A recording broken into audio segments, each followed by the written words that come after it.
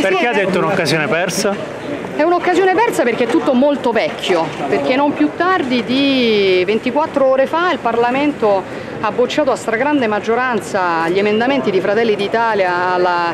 Costituzione che prevedevano l'introduzione in Costituzione dell'elezione diretta del Capo dello Stato, cioè la possibilità per gli italiani di scegliere loro il Presidente della Repubblica invece di rimandare tutto a queste liturgie da Prima Repubblica, hanno votato contro eh, i parlamentari del partito di Renzi, quello che doveva innovare il sistema, hanno votato contro buona parte di quei parlamentari del centrodestra che pure avevano il presidenzialismo nel loro programma, hanno votato contro i deputati del Movimento 5 Stelle che dicevano di voler portare i cittadini in Parlamento. Evidentemente tutti preferiscono continuare a eleggere il Presidente della Repubblica con gli inciuci di palazzo e la cosa divertente è che se gli italiani potessero votare probabilmente nessuno dei nomi che noi sentiamo circolare in queste ore avrebbe neanche lontanamente diritto di cittadinanza nella consultazione. Noi per protestare contro questo metodo vecchio saremo in piazza a partire da giovedì mattina quando inizieranno le votazioni in aula. Oggi pomeriggio ci vediamo con Matteo Salvini, proporremo un nome autorevole sul quale speriamo di poter aggregare eh, quanti più parlamentari possibili tra quelli che magari non ritengono di dover votare scheda bianca fino alla quarta votazione, fino a quando qualcuno gli cala dall'alto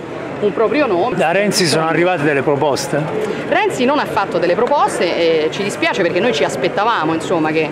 eh, che Renzi ci dicesse quali sono i vari nomi che ha in testa, del resto purtroppo eh, mi pare insomma, che questa sia quella che dalle mie parti si definisce una manfrina, nel senso che il fatto che Renzi incontri i partiti politici quando già ha detto ai suoi che fino alla quarta votazione devono votare scheda bianca, tradisce il fatto che Renzi in realtà non vuole un presidente condiviso. Se Renzi volesse un presidente condiviso darebbe un nome da votare quando serve una maggioranza qualificata, cioè dalla prima votazione. Invece Renzi sta chiaramente lavorando su un presidente che non sia autorevole, ma che sia consenziente, che è una cosa completamente diversa. In accordo con Berlusconi secondo lei?